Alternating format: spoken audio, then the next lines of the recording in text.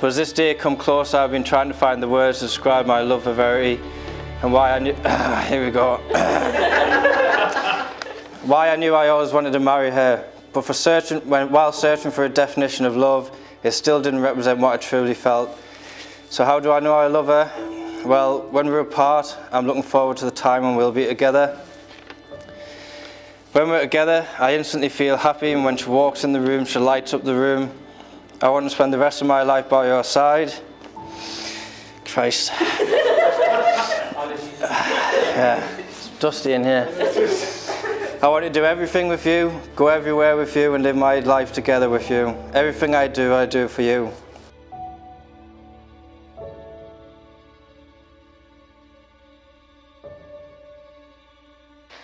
The first day you messaged me saying, um, I was down. do you want to go to McDonald's? I was down Ripon in the army, um, and we were always texting and messaging to say, should we go Yeah. for some food?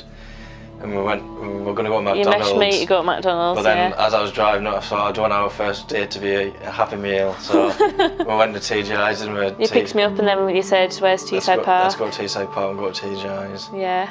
And we sat for, we got kicked out. didn't Hours, we actually? got kicked out, Not yeah. kicked out for thing, but we sat there that long that they were like sort of closing up. We're just talking.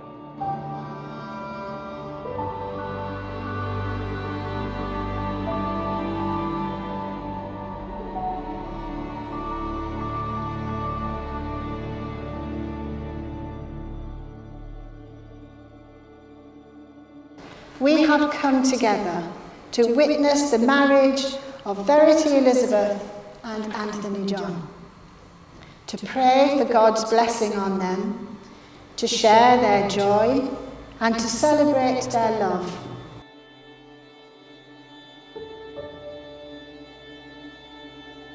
Everyone can give them a little clap.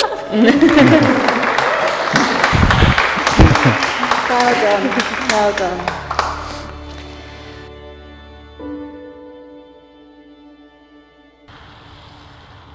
you, Mr. and Mrs. Wright.